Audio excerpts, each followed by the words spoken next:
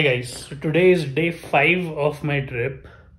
So I am not sure I should be posting this video or not, but my car uh, uh, got into some trouble on the road from uh, Jammu to Srinagar. So I am somewhere midway. I'm at a small town called as Banihal. Uh, with the help of some helpful army people, I was able to tow the car about 10-15 kilometers till here to see if a mechanic can fix it but the radiator has cracked and only the Volkswagen service center can fix it. So they tried the whole day yesterday in fact but it didn't work and I stayed in a very basic accommodation for the night and I've called the RSA they will be here late in the evening. It takes time to get here so maybe 5 or 6 in the evening. So I have some time to spend. It's only 10 in the morning so I did some bit of googling and I found this uh, lovely JKTDC resort here, Hotel Alpine, and uh, I was able to freshen up here. So I'm just trying to make the best of this situation at this point of time.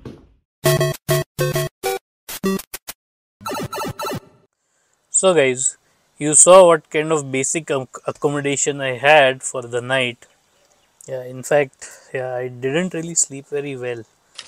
Uh, the accommodation itself was for 200 rupees per night. It was in a uh, common hall where there were total five beds. There were already two more people who were already sleeping over there, and they were covered head to toe and talking loudly in Punjabi. There was a light on all through the night, and I didn't really get any sleep. The pillow was damp, so I didn't use it. I used my uh, backpack as a pillow, and uh, they had thick blankets though i don't know when was the last time uh, it was washed. But i had to make the best of the situation and anyways i had time to kill uh, till the morning. So i tried to sleep as best as i could. Uh, every uh, 2 hours or 3 hours i was waking up and this continued till 6 in the morning when i finally thought now it's time to start getting back into action anyways i hadn't had any water or any food throughout the night. And i thought i'll just walk all the way over to the car. It's about about 2 kilometers or so. About 20 minutes away from where i was staying for the night. So i uh, walked all the way to the car. Uh, i was very happy to see that my car was safe and untouched so I finally had some water. I had a breakfast bar and I settled down in the car just in this way in the back seat. And finally, it was around 7 a.m. So I thought uh, now I should start taking charge. So I dialed the number for the Volkswagen RSA, and the lady who answered the call was very helpful. She helped me to set up the uh, towing service with a local vendor However, there was a catch. She told me that uh, the tow truck would not start from Udhampur till before 1 pm, and because of all the traffic, it would be at least 5 to 6 uh, in the evening before the tow truck could actually come uh, to tow my vehicle. Uh, that was going to be a long time. It was only 7 in the morning, right? So I uh, challenged her actually. I asked her why such a long time and she was not really able to give me a good answer. But I asked her to share the number of the vendor with me directly so I could talk to them, which she did. Another thing is she confirmed that there is no uh, service center for Volkswagen in Srinagar. There is only one in Jammu. Only one for the entire of J&K and Ladakh. Uh, yeah, I mean, I knew that was the case, but uh, when it hit me like in this way, where my car was broken down, I really felt the gravity of the situation. So I had thought in my mind that you know if my car gets towed to Srinagar, then I would continue my journey. If it gets towed to Jammu, then I would start uh, my return journey back to Pune. So in this case, uh, she confirmed that uh, the service center was at Jammu. So I thought, okay, so let's start the journey back However, she was not able to give me the uh, location of the service center, only the name of the facility. I had my doubts about it. Uh, it's a new place. I don't really know, right? So, anyways, I asked her for the number, and uh, she was not able to provide me with the number for the service station. So, uh, she said that she will get back to me. So, in the meantime, I called the uh, tow truck vendor and I asked him the reason why the tow truck could not start before 1 pm. And he clarified that uh, he has only two tow trucks which are uh, having the facility to tow a car like the Volkswagen, with which uh, the they have the contract uh, with Volkswagen, and uh, only he has only one of them available right now. And the driver of the tow truck had been driving the whole night, and he needed some rest before he can start again. So I understood uh, what the situation was. So I agreed to what he was saying, and I asked him to call me when the tow truck actually started and also to share the number of the uh, driver who would actually be driving the truck. So he said that he will share that with me. So now I had some time in hand. I knew I was going to be a guest in this place for more time than I intended. So I thought I'll try to make the best of my situation as possible. In the meantime the local who had uh, helped me to find accommodation at the night was back with his car. Uh, when i uh, told him the story of the rsa and my situation and how i would be a, his guest basically for the rest of the day uh, he took me for breakfast uh, we had tea and we had local uh, girda bread which is basically a Kashmiri flat bread.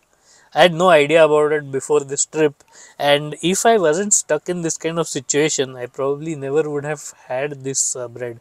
It was really good, guys, and if you do get a chance, I, I would recommend uh, to just try it. Uh, you know, it's something new for you guys to try. So, after breakfast, I got back to the car, and this is when I thought that I'll uh, start doing some research around this area. I mean, guys, I was uh, in this situation since uh, the day before, since 1 p.m., 1:30 p.m. when my car actually broke down. I was tired. I hadn't really had a good sleep. My clothes were dirty. I uh, needed a better facility. So after searching on Google, I found a nearby JKTDC resort. I uh, remembered seeing it on the way when I was walking back, but I didn't realize at the time that it was a JKTDC. So I thought I'll just walk over and ask them if they have a uh, accommodation available. Now, luckily for me, they had one room available. Uh, I think it was for 1700 uh, per night or something like that unfortunately for me i could not just use it for the day. I would have to book for the entire uh, uh, night as well. But like i said you know in this situation I, I, thought rather than spending the entire day at a garage outside at least uh, you know i would check in to a decent place and uh, i would freshen up. And i can tell you guys you know when you have a bath and you freshen up it brings about a miraculous change in your entire disposition. Immediately, you start feeling a lot fresher, you start feeling a lot better, you start thinking straight, and uh, that really helped.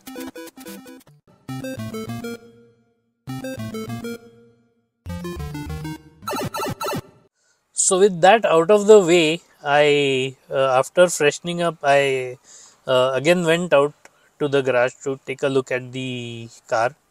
By this time, the mechanic was back.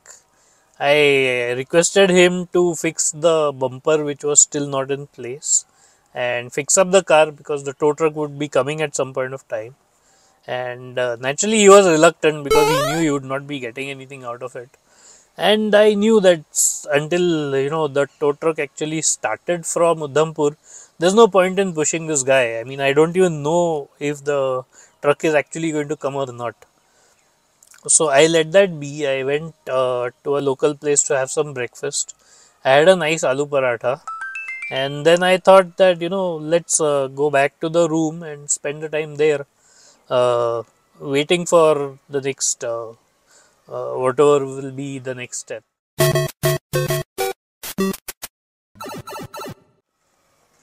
So in the meantime, you know, I was not very convinced uh, with whatever the Volkswagen RSA had told me about the Jammu service center.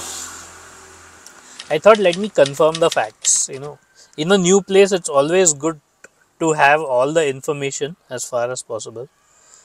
Now the funny thing is the Volkswagen uh, website lists the number for the Jammu service center but when you call that it goes to Skoda. And Skoda is right next to Volkswagen. It's in the same building. And they claimed when I called them that they do not have the contact for the Jammu service center. They don't have any contacts. And that was not very helpful. Really? anyways I didn't have much of a choice. So I did some more research on Google.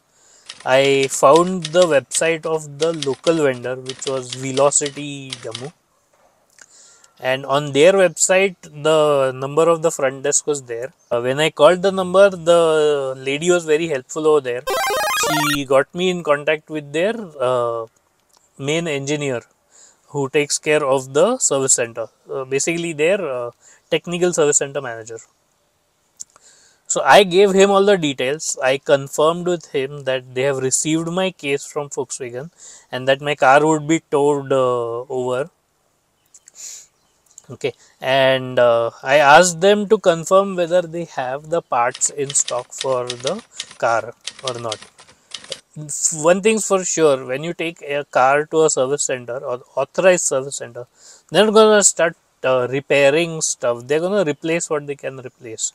In a way it's good because when you replace a part with a brand new part uh, it comes with a warranty and there is a guarantee that it's gonna work. Uh, you know it's gonna work long time and so I didn't really have a problem with that.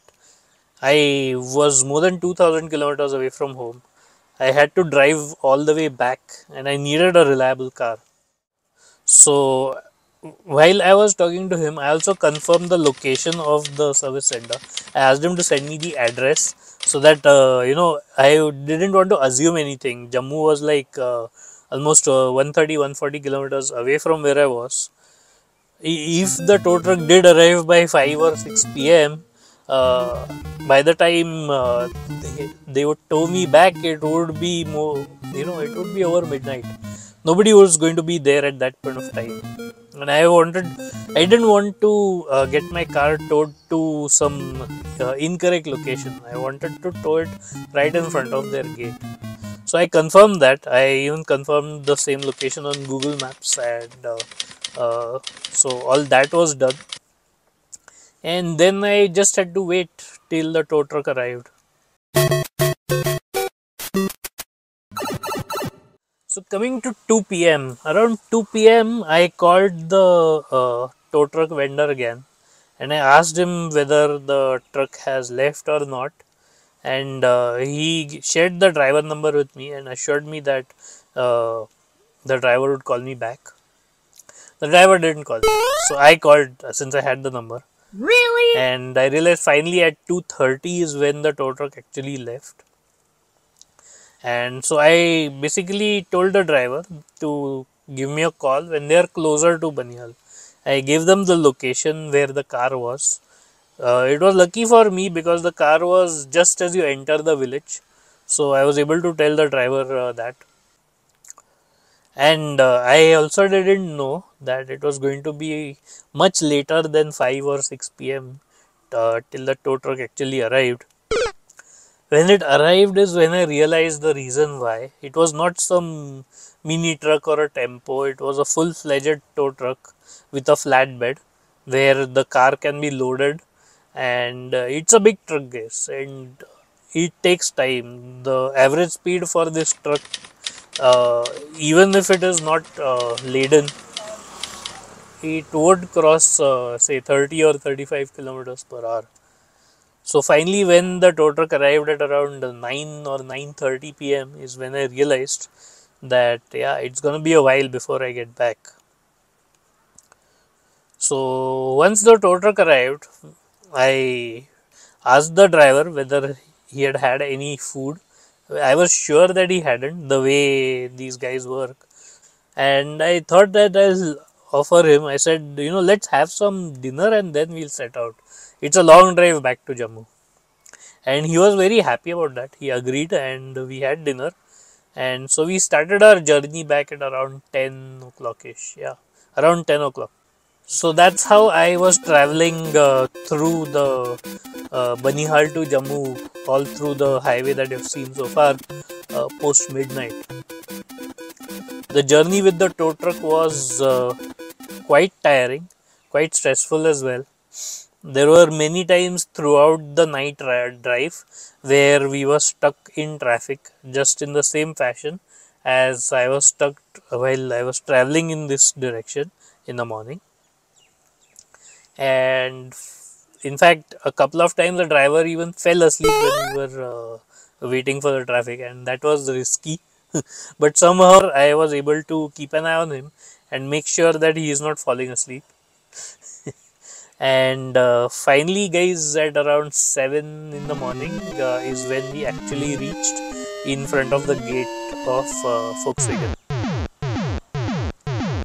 And that is uh, where I just uh, uh, un- unloaded the car from the tow truck in just across the road in front of their gate. And in at 7 in the morning uh, nobody is going to be there. Uh, volkswagen people will not come before 8.30 so i already had a uh, booking in uh, jammu at a hotel. So i asked the tow truck driver only to drop me back uh, on the way back and the hotel was about 5 kilometers away from the service station so we went across uh, and i thought i'll check in i'll just uh, rest for a while before I come back to the service station.